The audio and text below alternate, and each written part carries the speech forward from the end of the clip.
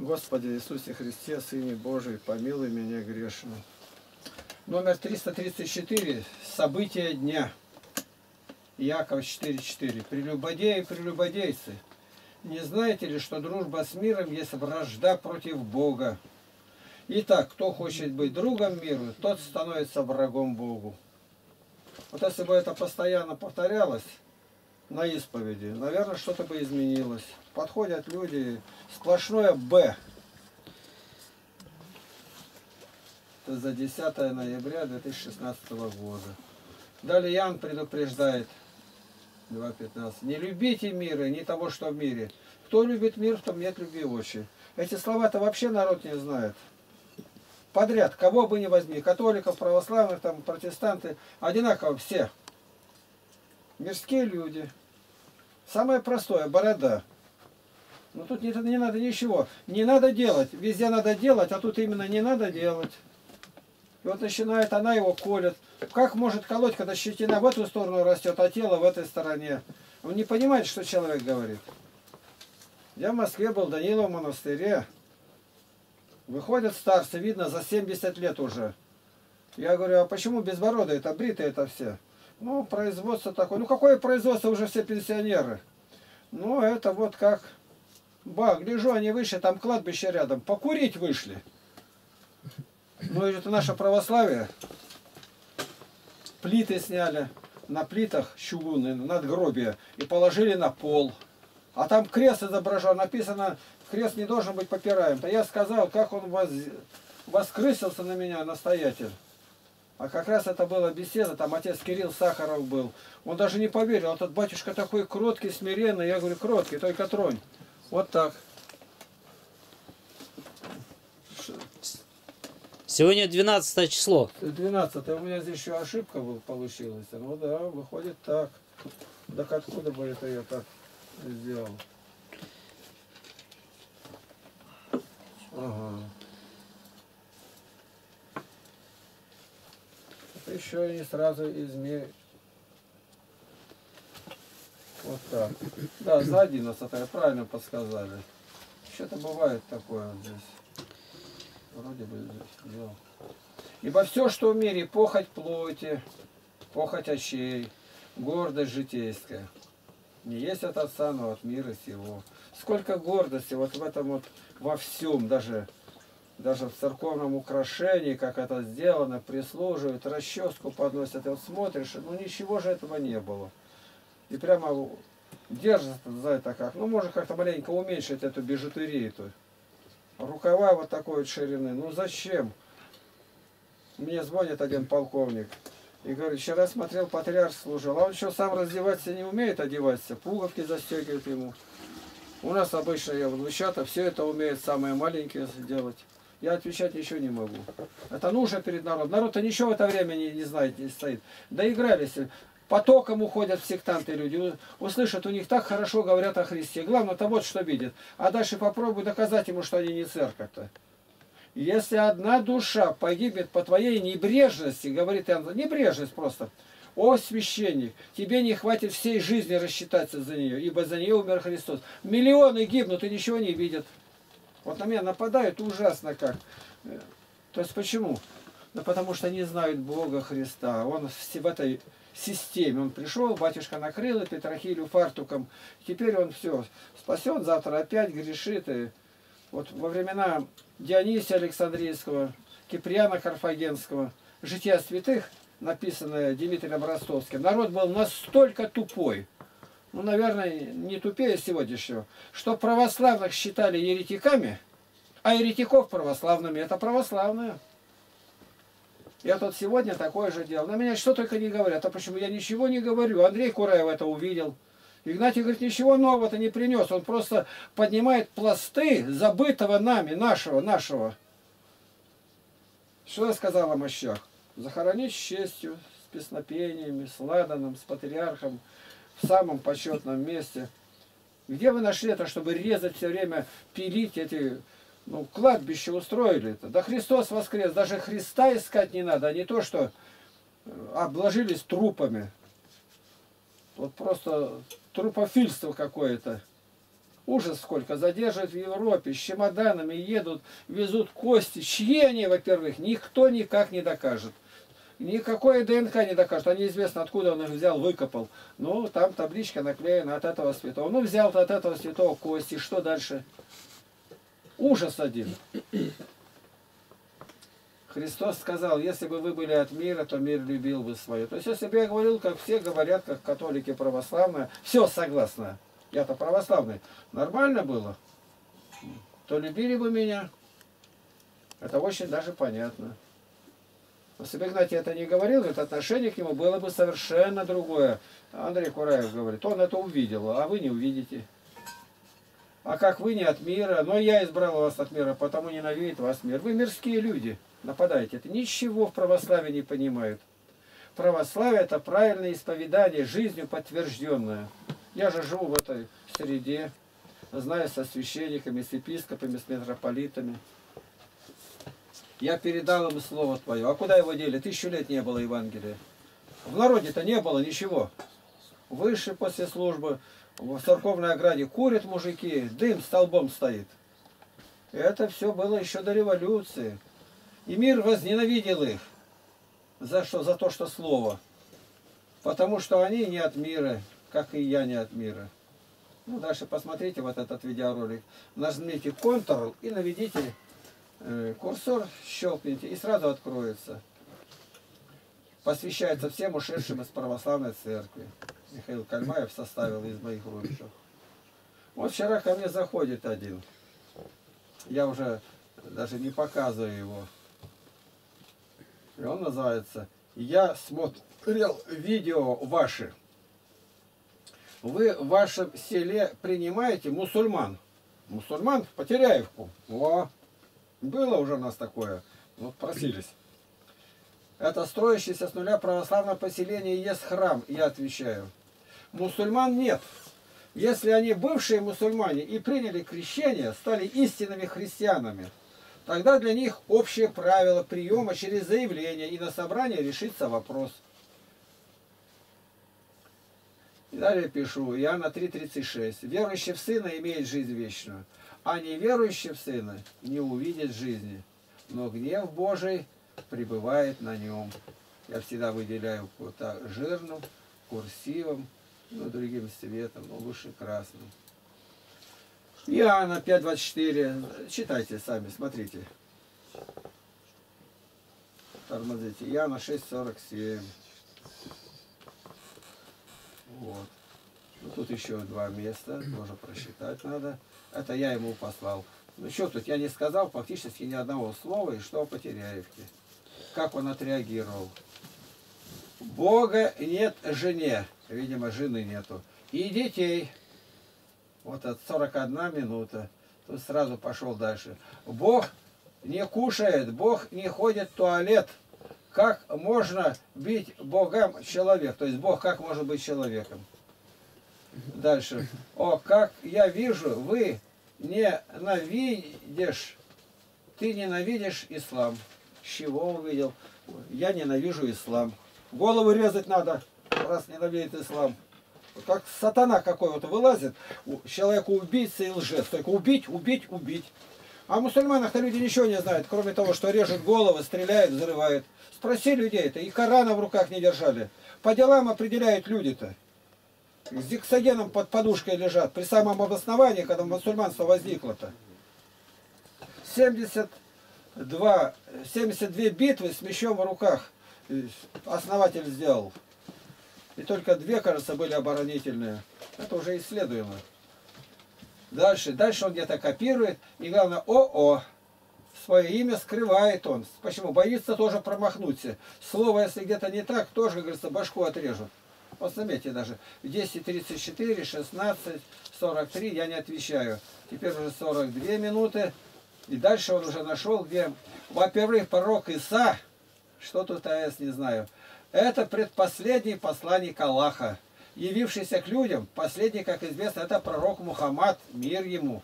То есть принято, если он назвал его, то обязательно мир ему. Мир ему, то есть нет ему мира. Зачем бы мы это говорили? Мир ему.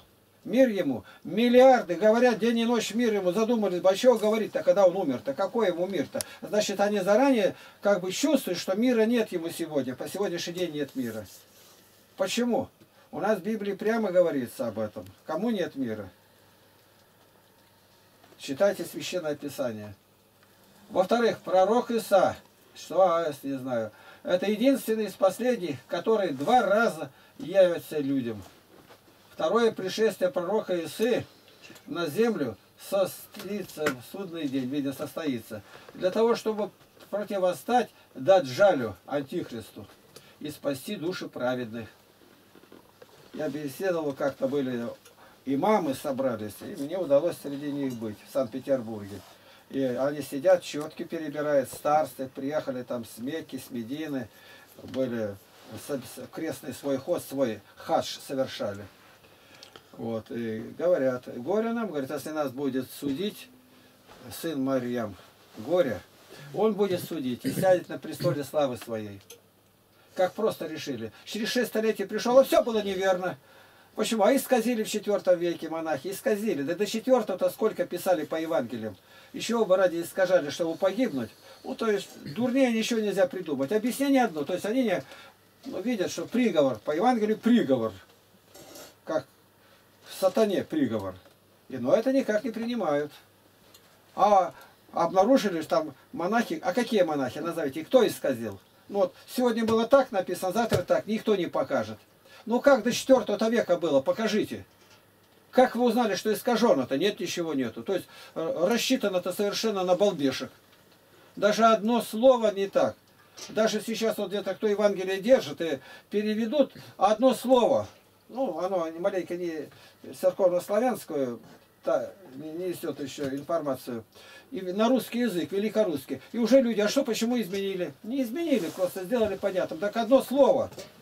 А то он не распят. Да тут явно дело, что они распят, то и не воскрес.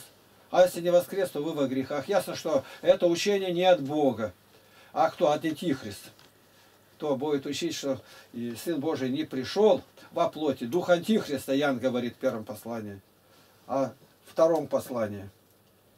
И сядет Антихрист, когда придет, сядет в храме, там, где сейчас у них мечеть находится.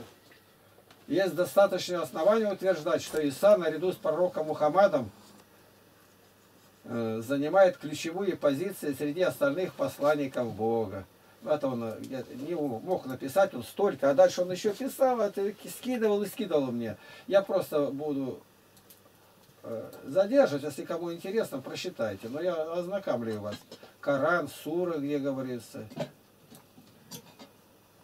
Самое главное, Тора называется Таурат.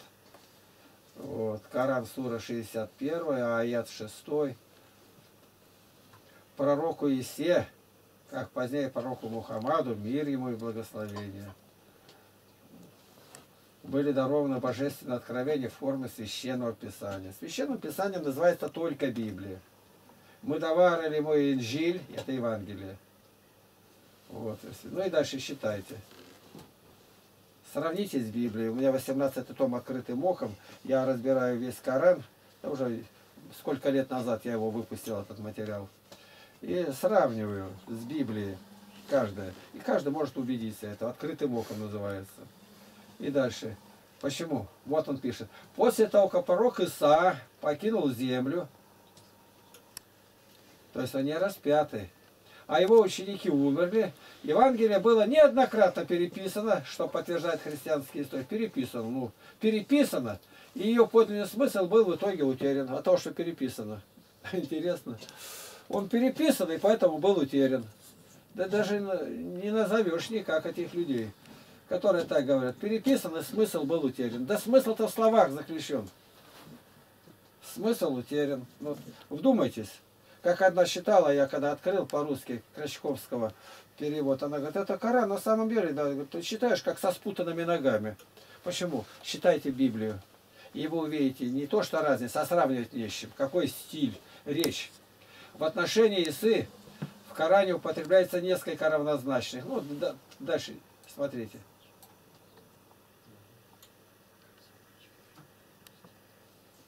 кто писал-то Коран, он брал на слух то, что ходил, торговал, где был, любознательный был, интересный человек этот. Вот. Но упоминает псалтырь. Но псалтырь упоминает 150 псалмов. Хотя бы один это упомянул? Нет. Дуайт принимает Давида. Значит, Давида вы принимаете? Ну да. Но если Евангелие есть, хоть одно-то слово из Евангелия взял бы, он еще взял-то, когда не знал-то. Ну тут уж, ну рассчитано-то на каких простофиль. Если я упомянул, допустим, Горбачева, я обязательно хоть одну фразу его знаю. Несметное сокровище развратили нас. Пресная вода употребляет в 70 раз больше нормы, как у людей. Это его слова. Хоть что-то. Я, если Ленина знаю, я привожу его фразы. Здесь ни одной. Во, всем, во всей их священной книге. Дальше. Вот здесь считайте. Это лучшие переводчики его. Дальше говорит, скоро, очень скоро сын Марьям сойдет к вам, как судья справедливый. Сын Марии сойдет, как судья справедливый. Он разобьет кресты, убьет свиней. Только заниматься ему по свинофермам, ходить свиней убивать. Вот они свиней не любят, а лошадей лопают. Вы понимаете как? Нечистой пищи нет, одну только, свинью нельзя есть, а лошадей колят. А 11 глава Левит говорит, да он не знал ничего этот составитель-то, он брал только на слух. Любознательный был, видно. А что, прохлопали ушами православные монахи-то? Их этот основатель религии, это мог быть православным апостолом настоящим, пророком. Два миллиарда были бы православных. Вот я о чем говорю, о монахах-то. Как, какая вина-то их. Просидели на пупки свои просмотрели, все боролись с похотью, с плотью. А налоги с них брали, воевали с ними. Ну, наконец Господь восставил этот бич. Это бич. Покрепче Алариха, покрепче Гитлера и Наполеона. Разобьет кресты, убьет свиней. Отменит налог с иноверцев. Ну так вы знаете, что налог-то с иноверцев. Где это вам заповедано? Христиан убивать. Сплошь. Христиане убивают, режут. Прими Прими, ну какое это, под ножом прими. Да человек боится смерти, он что угодно примет. Ну, сатанизм есть, он примет и сатану, лишь бы остаться жить. Ну какая же это вера-то, с ножом стоит и верить, как заповедал. Он воевал, основатель это. Ну это-то можно догадаться, что под ножом. Но коммунисты так делали, Гитлер это делал умножит богатство. И настолько умножит богатство, что никто уже не будет желать его. Но вы знаете, что сыноверцев это хорошее дело. Кресты ломают, разобьет кресты. В Сербии показывают, как кресты ломают. Но свиней так не убили. У нас мусульман было много в армии это. А они против свинины. А местные это они все лопают. Едят свинину и пьют. Блудят здесь с русскими. Я говорю, там Узбекистан приезжают вот этот, все эти, которые работают здесь, таджики. Это будет так, что один земной поклон так умножит богатство, что никто не будет желать его. Ну не желайте, не убивайте людей, не грабьте. Это будет так, что один земной поклон станет предпочтительней земного мира и всего, что есть в нем. Один поклон. Так поклон уже на суде Божьем не имеет никакого значения. Вот оно все против Евангелия. В исламе и христианстве главное отличие заключается в следующем. Во-первых, в исламе отрицается божественное происхождение Исы. Пророк Иса, то есть Христос Иисус, несмотря на появление его на свет по воле Аллаха, не является ни сыном Создателя, ни тем более самим Богом. В Коране по этому поводу сказано так. Ну и далее пишет, что как, я уже дальше уже не стал брать, много-много прислал. Так, и он мне потом пишет, о, принимай ислам, спасешь себя от ада. Твоя религия – это не религия, это секта. Вот. Это что? Где он нашел? Это уже сегодня их напитали этой ненавистью. Всякое убийство от сатаны. Ну и что это за религия, если одно убийство, убийство, все сатанинские дела. Взрывы детей, друг друга непрерывно, смертники. Ни один самоубийца не в рай идет этот шахит, а в ад. Сразу в ад. Потому что самоубийство я не считал нигде, чтобы в их религии, в священной, их, по их мнению, в священной книге это одобрялось. Нигде не видел этого. Ну, вот так.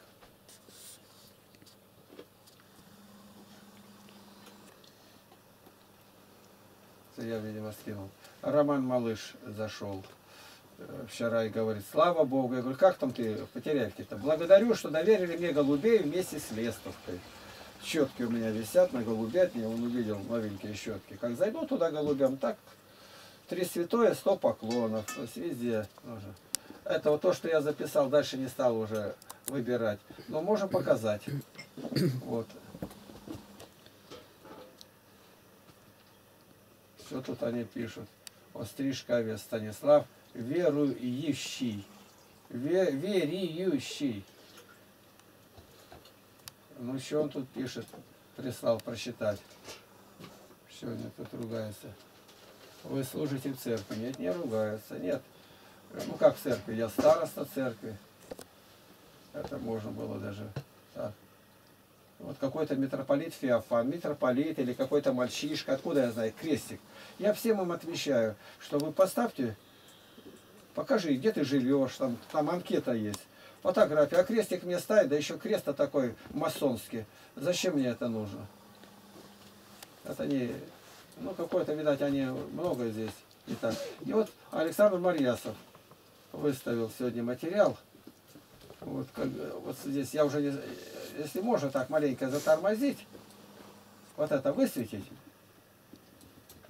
и я продерну дальше. Тут не знаешь, как сделать.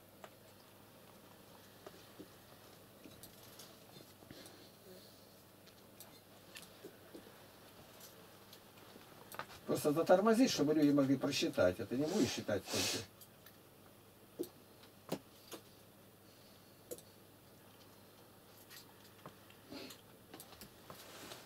Я не знаю, где тут. Она не выделяется, мне трудно найти, где я закончил. То есть он одну небольшую часть выставил материала определенного. Что она тут не, не тянет вот этот бегунок-то? Вот. А где это? Ну вот здесь. Он показал где. Вот я это сейчас сниму, себе перенесу туда.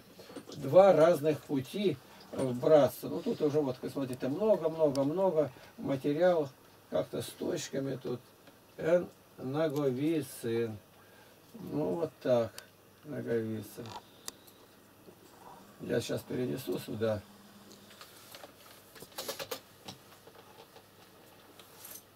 Вот.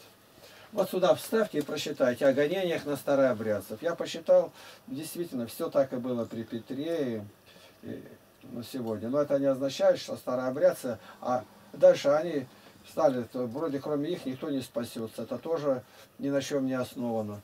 Что Христос показал, как персты. А Он благословил, показывает, благословил, так, показывает два перста. Ну почему два? Куда вы дели? Три. У Милетия было. А Милетий два показал. Да в это время против арианства боролись. Тут понятно, что он должен был показать три. Три пальца, три, троица. Вот троица. Как? Так и было показано. Но когда уже стали отрицать божественность Иисуса Христа, вот, тогда два естества в нем, богочеловечество, возникло дальше. Первые христиане молились одним перстом, говорит Иоанн Златоуст. И сами старобрядцы это пишут. Мельников Фё, пишет об этом, Федор Ефимович. Вот здесь вот заденьте и прочитаете. Старообрядцы-то они по сегодняшний день за 300 лет, за все время ни одного не было миссионера, ни одного. А зачем? Кому надо сам обратиться? Никак нету. Ни одного нету, это вообще. То есть один баптист повалит всех до одного, потому что люди слышат Христа и будут приходить, что не гвозди его держали на кресте, а грехи наши пригвоздили его. ничего люди не знают. И вот я дальше показываю. Приходится еще говорить. Не против старообрядцев-то говорю. Опять уцепятся старообрядцы. Старообрядцы, имеющие священство, это настоящая церковь. Митрополит Корнилий. Вот. И дальше у нас есть большой ресурс, православный форум. И все это во свете Библии, открытым оком называется. 1603 темы. Темы. Огромный материал, хорошо составлен.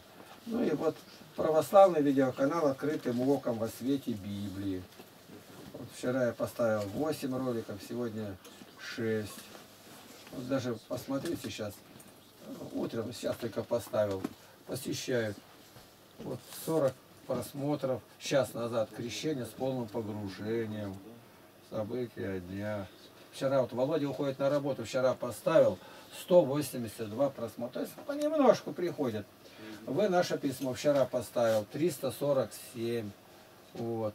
Батюшку звонок из Потеряевки позавчера 559. То есть побольше маленько смотрят. Ну и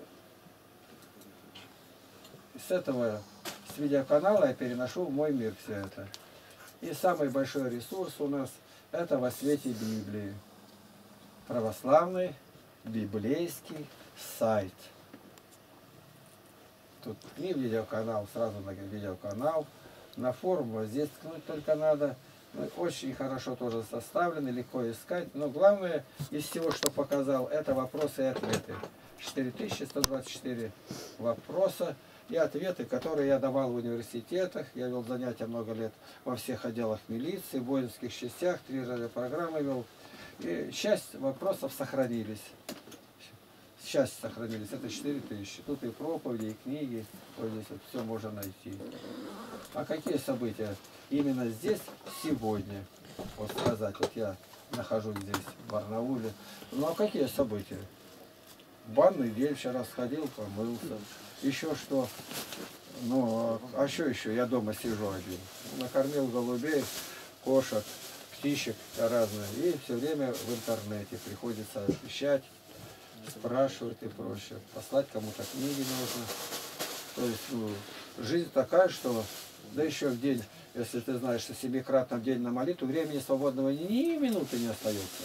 Даже грамма нету. Даже если вот, ну, допустим, верующие, неверующие, вот мы, ну, неверующие, большая пенсия, у меня минимальная пенсия бомжа, государство так распорядилось, но я не ропщу, благодарю Бога за все. И вот теперь у него награды, как у меня знакомая одна, приезжает, отец все свои похвальные грамоты, там все ордена, медали, и на них смотрит, сидит, что-то вспоминает. А что вспоминать-то? Ум-то не работает уже. Ну, даже было, даже ты передовик был, когда-то в ладоши хлопали. Теперь-то ничего этого нету. И вот теперь на два варианта давай сыграем. Вот он, э, я верующий, а ну, рядом вот это вот я скажу, неверующий, покажу, ну, к примеру сказать, даже не знаю, на что показать, неверующий. Вот я говорю, давай пять минут будем.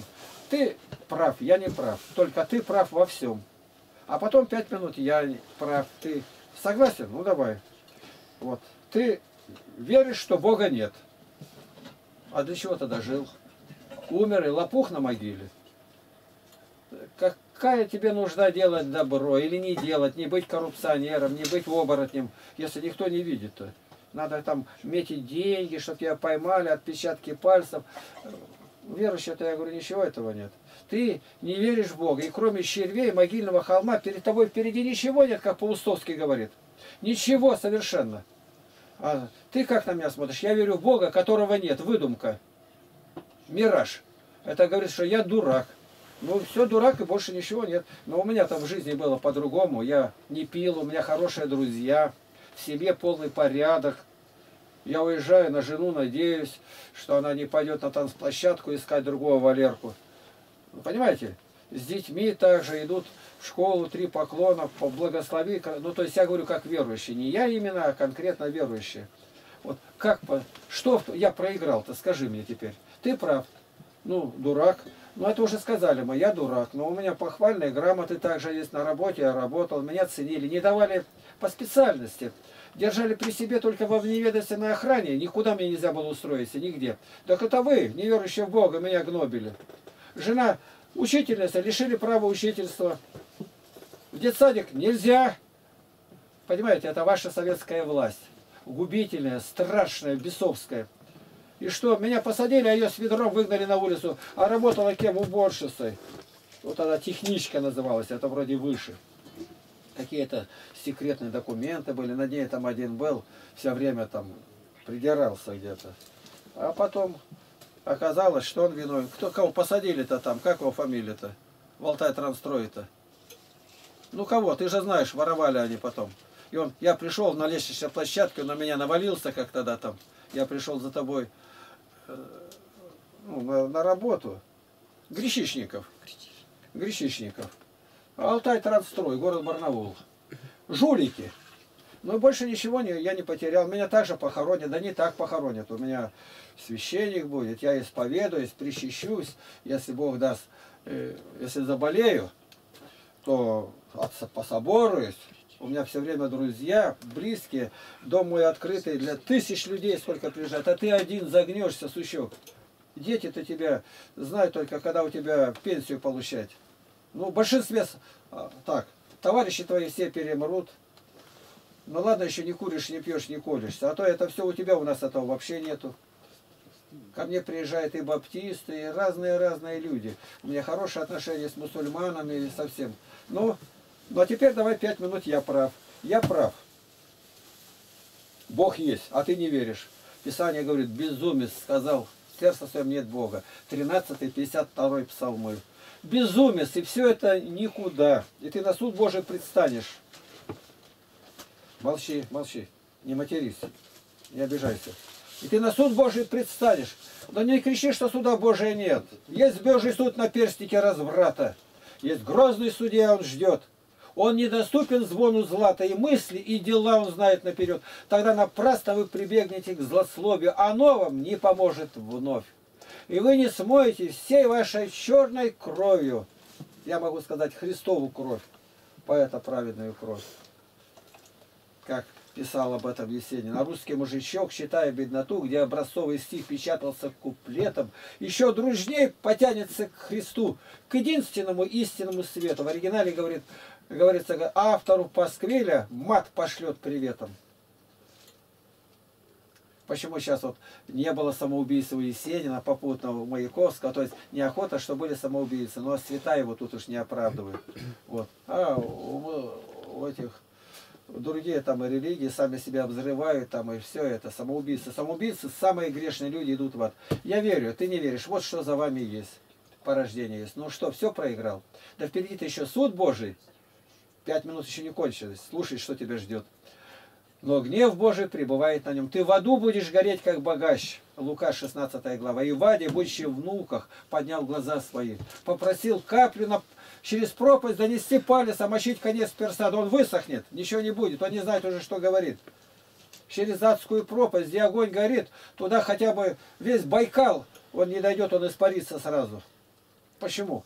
На поверхности Солнца ежесекундно отрывается тепла, ну, подсчитано, тепла достаточного за одну секунду, чтобы на Земле, земной шар, растопить лед толщиной в один километр вокруг всего земного шара. А в аду что? Какая температура? Там может миллион градусов, будущее в муках. Вот что тебя ждет. Вот. Так давай, покайся и уверуй в Господа нашего Иисуса Христа. Ему слава во веки веков. Аминь. Аминь. Богу нашему слава.